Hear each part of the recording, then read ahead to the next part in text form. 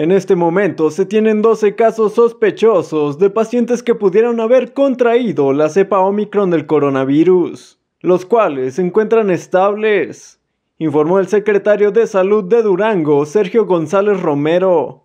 Dijo que se trata de personas que viven en el municipio de Durango y que recibieron a familiares de los Estados Unidos o de otras entidades. Tenemos 12 sospechosos ya eh, por nuestro laboratorio y lo mandamos a, a Lindre para que nos confirmen antes de, hacer otra cosa.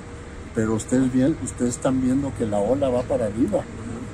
Y no solamente en Durango, en el país. La semana pasada teníamos 212 y ahora cerramos con 418.